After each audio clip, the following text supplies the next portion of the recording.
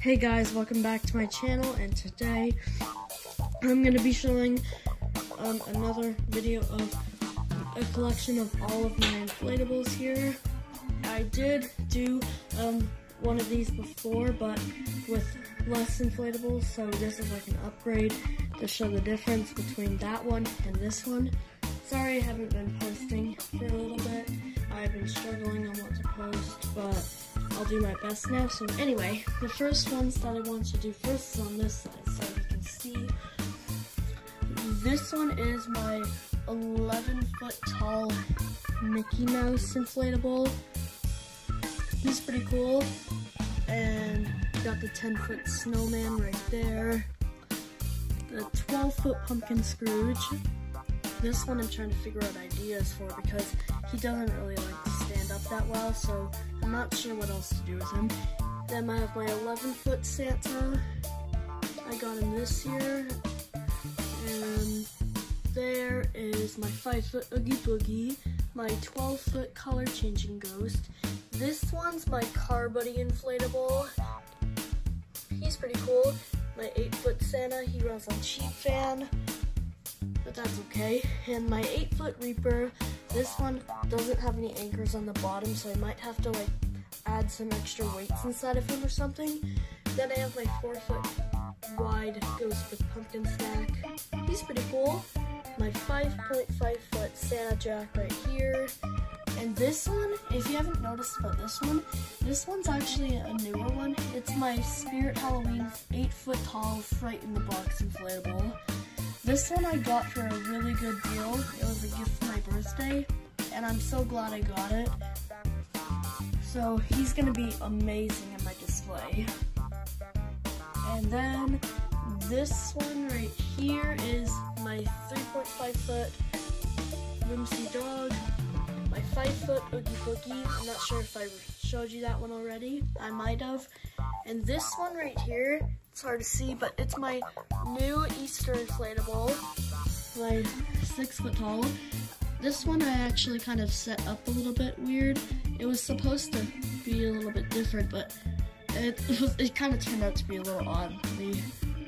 But that's okay. And then I got my five foot animated chimney top Santa. This is my this is my only animated one. Then I have my four foot dog on the fire hydrant. And this one is my four foot pumpkin reaper. He's pretty cool.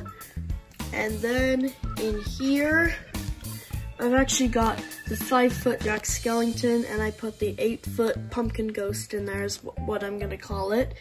Because the pumpkin, I put the pumpkin ghost in here because the, this is what the pumpkin ghost used to be in, but the box, you can see it's really small, so I put him in this Amazon box right here and the four foot one in there and that works a lot better. And then we have up here, this is actually the Hello Kitty one that I modified. It's pretty cool, although it has a really bad style box, but that's okay because I'm the only one who's gonna really be seeing it. And then right here, there's these boxes. So this one has the eight foot tall snowman, same size as the Santa, and there's also the nine foot tall dinosaur in there, which I also got off Amazon.